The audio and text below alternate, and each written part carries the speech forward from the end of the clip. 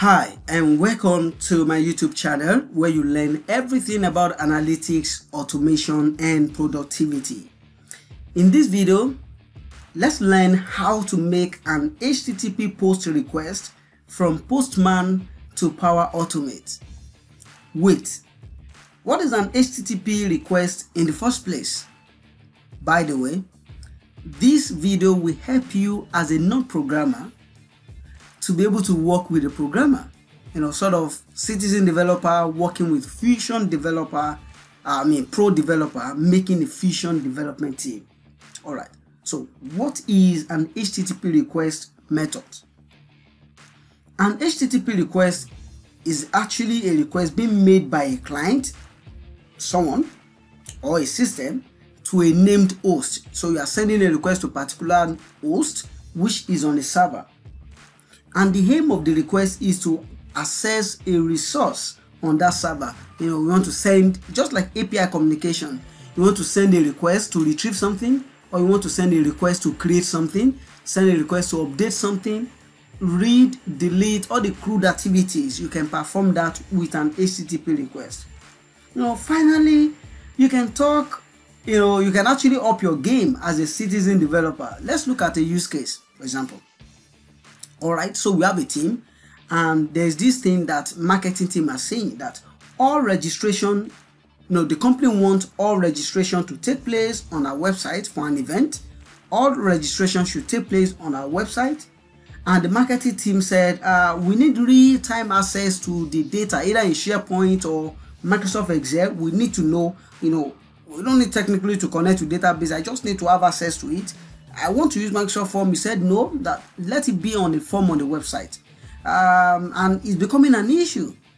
Okay, the form on the website, but how do you get me the data real time in Excel or SharePoint at least? You know, as a business or citizen developer, I'm there, and all I can say is this. Um, you can actually make, you can speak to the programmer and tell the guy, the developer, that can you make an HTTP post request upon submission of the registrant data to database and then you know pass the information to me. I can extract it and get it populated on an Excel or even a SharePoint list real time as requested by the marketing team. Wow, that sounds techy. But everybody look at you, wow, okay, this guy is going to solve it now. What just happened here is a citizen developer, you, working with a pro developer, the developer of the site, and that makes a fusion development. So it's simplified. Whenever people fill the form and click on submit button, just make an HTTP request post wherever you are, pass those details to me, I'm going to collect it and I will extract the information, I will put it where it should be and the team will be fine. So let's create a scenario uh, to actually come up with this. So we're going to create a Power Automate flow and also learn more about this trigger. So first, I'm going to come up here to create, then I'm going to create automated cloud flow. I'm just going to skip this. I'm going to skip this and I will look for search for trigger HTTP request. Note, this is a premium connector. So you will need um, to have the license to be able to use it, a power user, power automate per flow license or per user license to use this. Uh, but I'm on a 90 days trial, of course, that's a good thing there. You can actually try it out. You can click on it and start the trial. All right, so what I'm going to use here is when an HTTP request is received, and that is the connector and the trigger that I'm going to use here. But then I'm going to click on this show advanced options and we'll see this thing called method. What method do I need? So let's talk about the method. First, the get. From the word get, get is used to request data from a specified resource and it's one of the most common HTTP methods. So if someone posts a get, the request coming is coming to us to supply something as a response. That is how it is.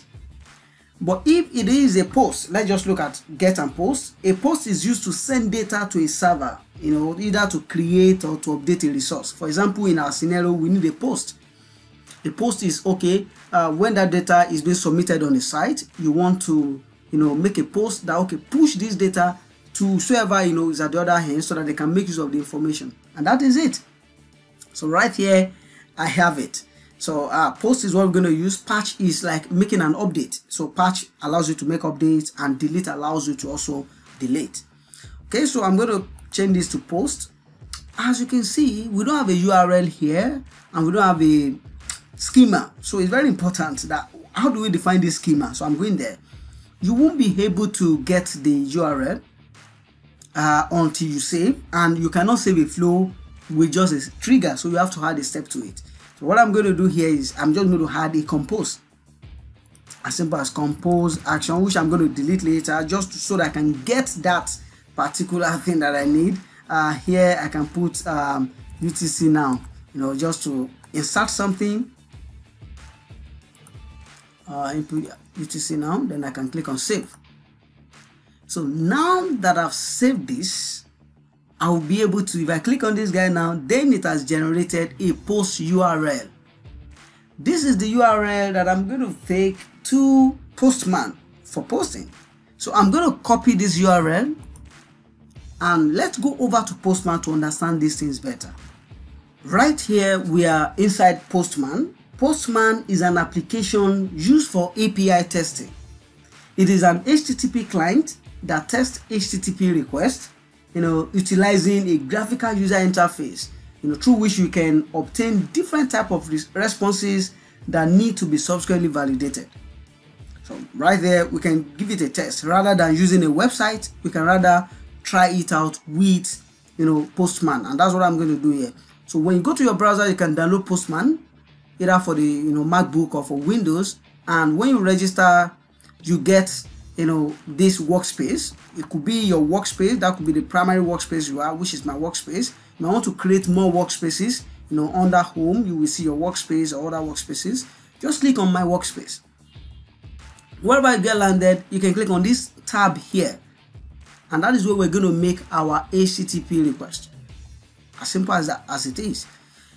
We are making a post don't forget so you make sure it match what you are doing. So i'm going to just go here and click on post see a lot of different requests that can be made through Postman, but we are interested in Post. And I'm going to post that URL here. Remember, we copied that from um, Power Automate. Then I will go to Body.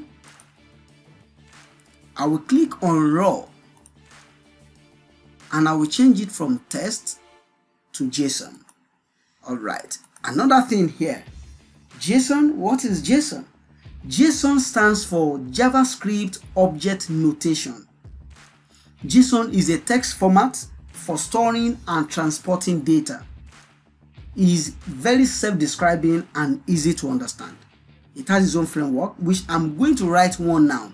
So we are trying to mimic our website, assuming someone has saved, you know, has filled the form and maybe a registration form, just few details are, are being collected and click on submit button and we just want to make a HTTP post request.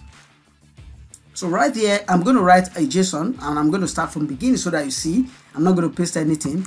Now I open uh, a curly bracket and I close it because Postman is helping to auto complete that. I'm going to press enter to give it a break. So it's already helping you with the indentation as well. Then to declare in, it's just like a dictionary. You are declaring variable and the value at the front. So, but because full name, I'm going to call this full name.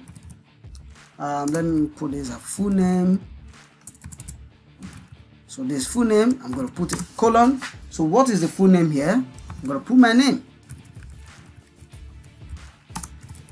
This is my name.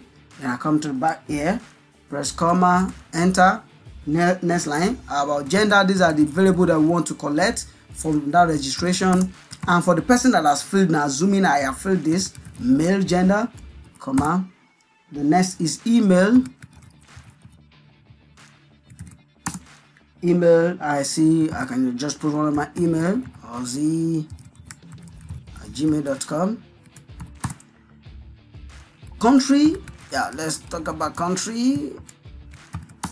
Then i'm gonna say nigeria comma. And the last variable here is how did you hear about us? So is a question at the front. Okay from friend. I got to know about you from a friend. From the friend. So maybe the option we don't know here how it come about. You know I mean, we don't know how the response come about. Maybe it's an option or it's an open-ended file, uh, open-ended, you know, question. But let's assume is an option, and whatsoever the person select, that is what is being returned. So if the programmer or the developer is making that request from the site, so he's going to just make sure that everything is coming as a JSON, then pass it to the HTTP, the URL that we have. So we have this and the reason why we are trying to make this call first, remember if I go back here, is we don't know the request uh, schema body. I can post that schema now and make it here, but I want to make a post so that we see from that post and then copy it. Now that I have my schema body which has been defined within um, here, I'm going to click on send. So it's sending, it returned here, nothing is successful actually because uh, it's not a get so that there's nothing we have defined to say okay when you send this collect this back to be sure maybe you are successful or not so right here how do we then know maybe this is successful or not? So i'm going to go back here. And you see it ran and it was successful. It ran and it was successful. Let's click on it. And when you open up the http post i can see the body. So it's the same thing that i've composed in my uh, what do you call it? My postman. So I can copy this. So I'm assuming that we do not know what the schema looks like so just tell the developer make a post now. When the person make a post okay you grab it from there then you build the what do you call it now? You build the flow. So let's go back and edit our flow. So now that we have this this is my um, request json schema. I'm going to use sample to generate paste this which is what we know now. Click on done. So it will help you to put it up into object properties and the rest. That is fine. That's fine. Now that we have this then i don't need this compose again. I only needed it to be able to be sure that i can i can save the flow the other time. The next is to use parse json so there's an action called parse json it allows you to work is a data operation be able to pass a json object through it and split it out and you can use individual elements that are part of that JSON. So what is the content? Is the body, body coming from what we have called, imagine no, we can even see everything right here. Uh, I mean, honestly, I don't think I need to use the JSON again because I see everything I need now. But I just, you know, pass it through the uh, JSON. So this is the body, generate sample. I'm going to paste that same schema click on done split it like this I'm fine the next step for me is to send um, create item rather so create item on the SharePoint. So I've created the SharePoint backend which is under application and this is it. It has all the feeds that have been collected. Alright, so I'm just to come back here and select it. It's under application and called reg list. Reg list. Okay so title title is the name actually so i can see the full name. You can see it here as well so i can take it i can pick from any of these but just to show you how the parse json can also help you to you know split and get those items. All right so full name is the same thing as title. I rename the title feed gender i can put gender there. Email address i'm going to put email for country i'm going to put country. How did you hear about us? I'm going to put how did you hear about us? Save and that is fine. So I'm going to make that post again. Um, back to Postman. Yeah, let me send it first. Send again.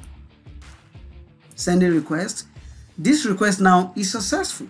That because that is the trigger. Once it received this, once it sent this request to that trigger, it get the flow triggered, and it's working. So when I come back here on this SharePoint um, list now, I should see the data. But if I refresh, in case it's not loading, uh, if I refresh here, you see the records are here already so let's make another post and you know so that I can have at least two or three records. Um this I'm going to call Ola you know Ola Charles. Um yeah I mean email this time around. Mary Ola Charles gmail.com Nigeria yes from a friend. I'm going to say LinkedIn. Here I'm going to say LinkedIn. LinkedIn, mail journal. Let's just push this. I'm gonna push one more again. For, that one has gone. Another, I'm gonna say add advance, you know, female.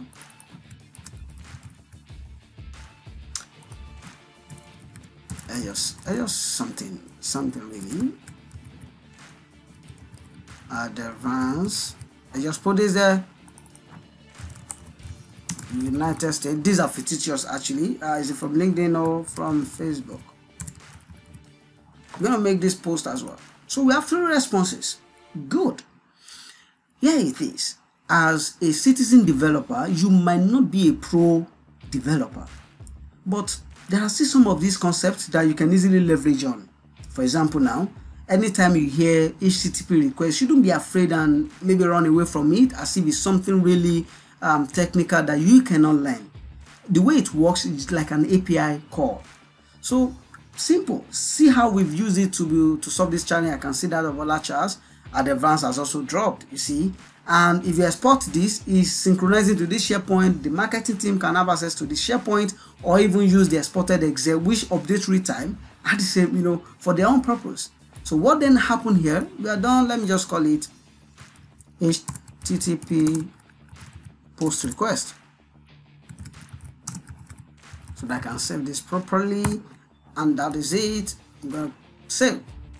So it runs and is there. That is the trigger. Anytime it receives through that URL details anytime it receives a post request you know it then capture those details. Of course the details available to consume immediately. Might not even use the parse json and just go straight away and create item. And that is all. You want to send anything back you can also add another one maybe another http request that makes a um, a, a, a, post again. This time around maybe back to that um, url that it came from. But you see it's helpful to know how this works. There are a lot of use cases uh, depending on where you are. And the moment you hear something that has to do with maybe http request just know it's not too difficult. It's something you can learn. It's something that is possible um, this demo video might help you to get started. You know of course i encourage you to test this. So you see how it connects. Wow. And going forward be open to work with fusion de um, pro developers. Anything they are doing as long as they can expose it as api you can consume it. As long as they can make it as a http request post you can actually consume it. So that should be um, i mean the the the coming together the coming point okay? So thank you always for the support. If you have any question let me have it in the comment section. What other ways can we you know expand on these use cases? Do let me know in the comment section as well. Thank you and bye for now